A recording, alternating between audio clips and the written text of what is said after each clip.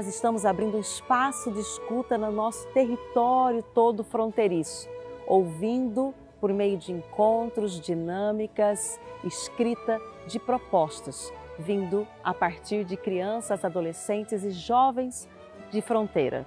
Eu gostaria que nessa fronteira que eu vivo houvesse uma mudança na segurança. Solicitamos a las autoridades de los derechos humanos del Mercosur hagan el esfuerzo y las gestiones necesarias para recibir más información de calidad sobre el corredor bioceánico que nos va a afectar como niños y niñas que vivimos en las fronteras. O meio ambiente e também sobre um pouquinho das leis. As leis eu acho que deviam ser as mesmas que tem ambas as fronteiras, tanto Bolívia quanto aqui em si. Porque não adianta eu proteger algo aqui e lá eles não protegerem, não adianta eles protegerem algo lá e não protegerem aqui. Temos que tentar todos proteger o meio ambiente, que é daí que a gente tira o nosso recurso, é a nossa energia vital, a gente precisa disso. Suicídio, depressão, tudo por causa de um motivo, um motivo desnecessário, preconceito. Sem preconceito com o pessoal da fronteira e sem preconceito com o pessoal da nossa cidade. Diga não ao preconceito. Personalmente, a mí me gustaría que el gobierno de Bolivia y de Brasil haga una conciliación con nosotros que haga una base de respeto hacia, hacia la juventud de ahora, que nos enseñen dinámicas, que nos manden a profesores, que nos digan que haya bibliotecas. En, en varias unidades de acá, de nuestro distrito, falta biblioteca, falta lugares de recreación, pero ¿por qué dirán? Usted se preguntará, ¿por qué los jóvenes hoy en día están apagados? No hay recreación, no hay una buena conversación en familia, no hay una buena dinámica escolar. Yo puedo nombrar un tema que yo escogí para demostrar en frente de todos mis compañeros que es la contaminación. Y ahora un tema muy importante que hay en, nuestro, en el mundo, nuestro planeta, es la liberación social. La liberación social es aquel tema muy delicado que se tiene que tratar con breve respeto. ¿Por qué?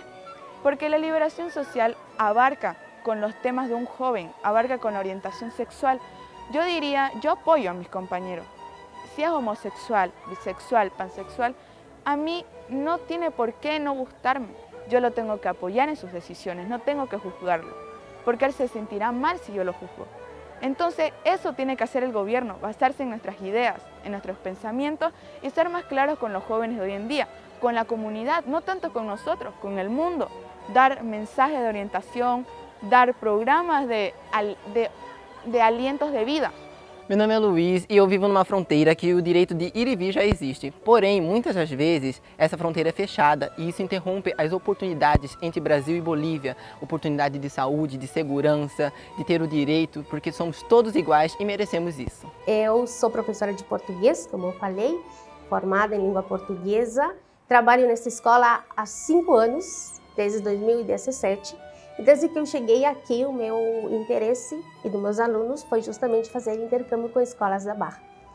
Quando cheguei, não tínhamos muito recurso, então eu cruzei a fronteira em busca desse recurso. E eu falo até hoje que o que abriu as portas desse, desse intercâmbio foi o livro, porque foi em procura do livro que eu fui nas bibliotecas e nas escolas da Barra do Quaraí. Chegando lá, eu encontrei um, uma equipe que tinha muita vontade de trabalhar junto. Então a gente começou a fazer projetos. Tanto foram esses projetos que a gente eh, criou a primeira biblioteca língua portuguesa aqui na escola com o nome Patrulha da Leitura. E começamos a fazer intercâmbios e trabalhar em equipe, fazendo, trazendo alunos da Barra para visitar aqui e também levamos alunos da Barra para que eles conhecessem essa realidade. Quando Leila, que foi a, a que me convidou para participar, ela me comentou e eu achei super, super interessante porque é uma oportunidade que a gente espera, mas nunca imagina que vai chegar. É, que seja reconhecido esse trabalho com, com, as crianças e poder chamar a atenção de vocês até aqui. Meu primeiro contato foi quando vocês chegaram, tá? É presencial, mas quando enviaram para nós o documento, eu comecei a ler e diz é a cara do nosso projeto. Eles têm outro enfoque, mas ao mesmo tempo é o mesmo é, perspectiva, os mesmos objetivos. Então foi isso, foi isso que chamou nossa atenção e, e eu aceitei as minhas autoridades aceitaram porque justamente é muito interessante, muito enriquecedor, produtivo e como vocês viram, é, enquanto a atividade se desenvolvia, as crianças mostraram seu interesse, mostraram suas, suas problemáticas, que acho incrível poder continuar trabalhando e fazendo parte dessa equipe que é muito linda. Como professor, é um prazer receber vocês aqui na nossa escola, principalmente porque a gente parece uma cidade muito esquecida. A gente é longe realmente de tudo e parece que a gente é muito esquecida. O Uruguaiana é ali, a 70 quilômetros. Por exemplo, tem a Unipampa, né? Só que eles, é, há muito pouco tempo, começaram a vir fazer trabalhos nas escolas, especialmente nas escolas. E receber vocês de tão longe, tão longe mesmo. E agora o Pantanal parece para nós uma coisa tão próxima por causa da novela. Mas a gente sabe a distância que é, é, é muito, muito gratificante. Ver o que vocês fizeram com os nossos alunos e a gente sentiu o orgulho que a gente sentiu. Porque eles mostraram para vocês o que eles são para nós. Só que para nós eles nos conhecem, é ligado, é próximo. Mas assim que eles conseguiram se soltar, conversar. E tudo que eles falaram realmente são coisas da comunidade que fazem falta e que precisa. E é tão bonito ver eles jovens sentindo isso, porque parece que só o adulto se dá conta e só o adulto sofre, só o adulto percebe. Mas foi, foi muito bonito de ver, sabe? E ver o quanto eles se soltaram, foi muito bom isso.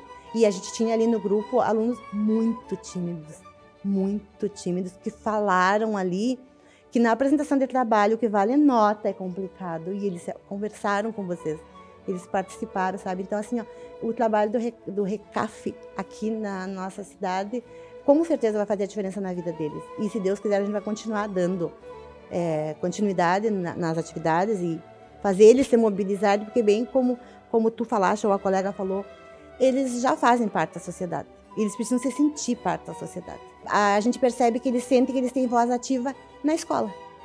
Às vezes, alguns nem na família conseguem ter isso mas a gente percebe que eles têm. Então, assim, ó, eles dizem, ai, um pessoal que veio lá do Pantanal. Porque eles vão dizer que é Pantanal, eles não vão usar outro termo. O pessoal que veio de lá, de longe, sabe, fronteira com a Bolívia, e, e para o adolescente que parece que é mais distante ainda, com certeza vai fazer diferença na vida deles e, e eles jamais vão esquecer isso.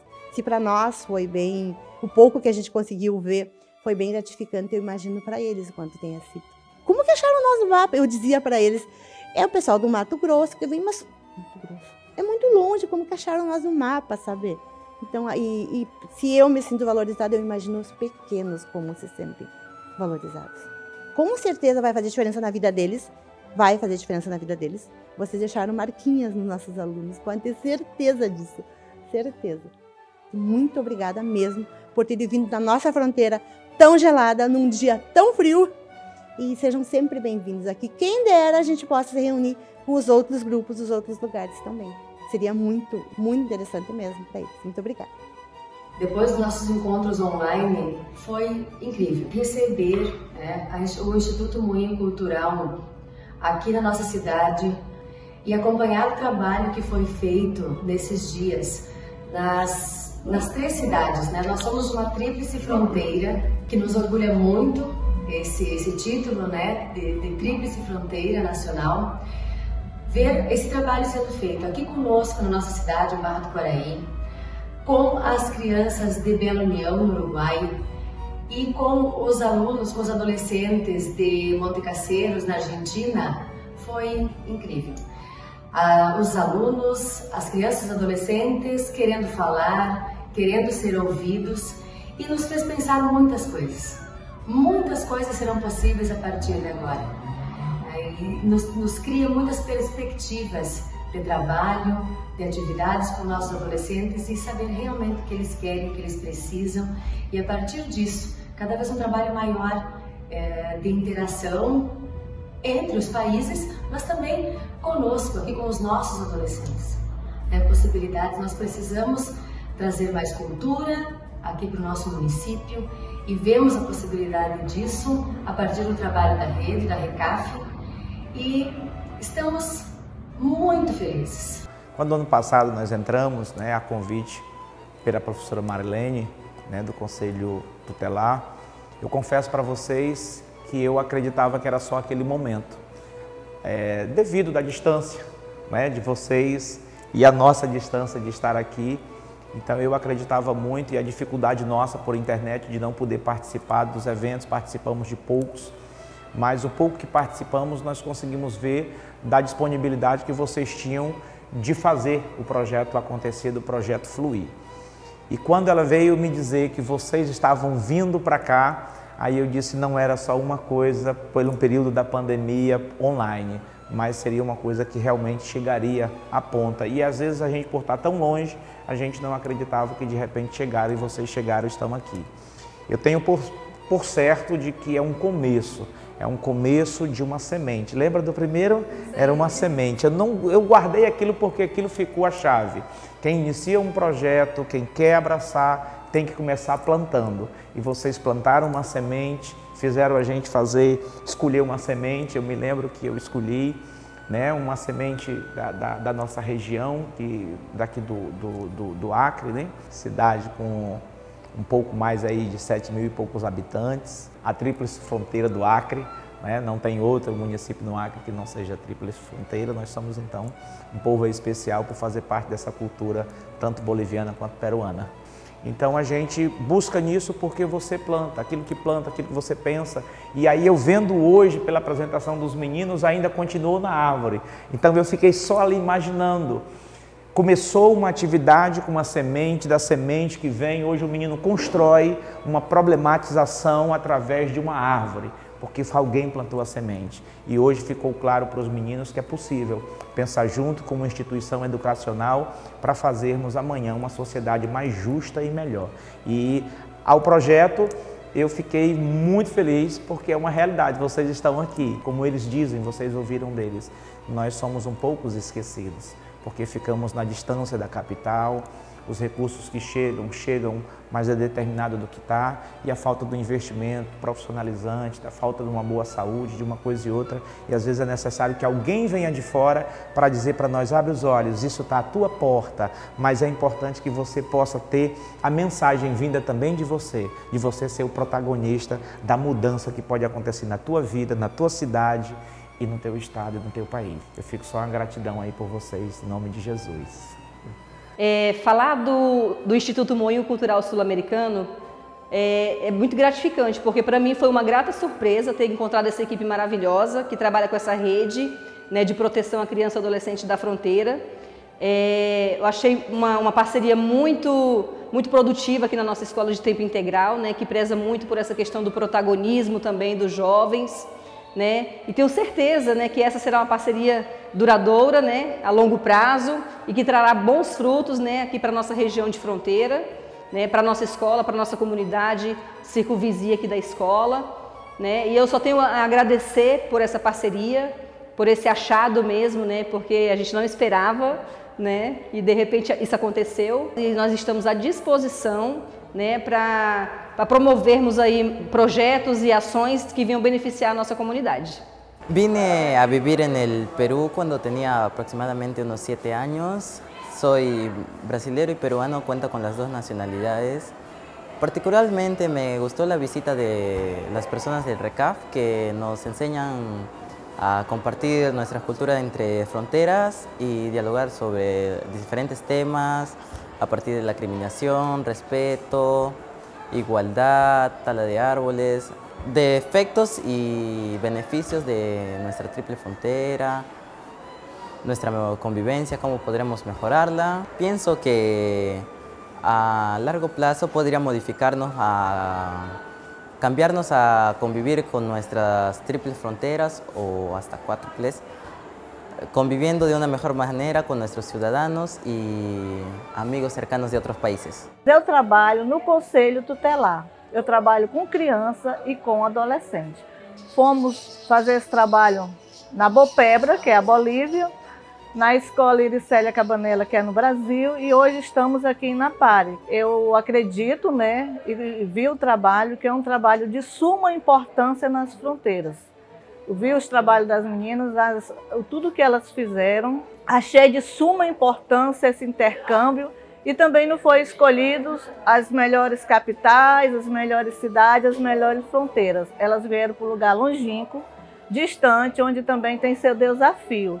E eu acredito muito que essa rede, o RECAF, né, vai ter boas iniciativas que a gente possa fazer um intercâmbio com vários países, no nosso país mesmo, e fazer um bom trabalho com essas crianças, melhorando, incentivando elas a sair até das drogas, das prostituições.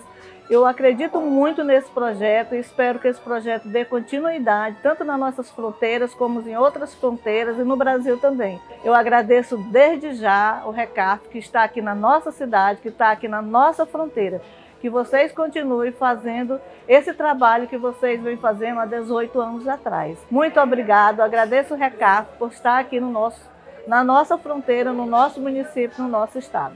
Esperamos que, a partir dessa carta, políticas públicas sejam criadas e colocadas no nosso território fronteiriço. Los niños y niñas no somos parte del problema, somos parte de la solución.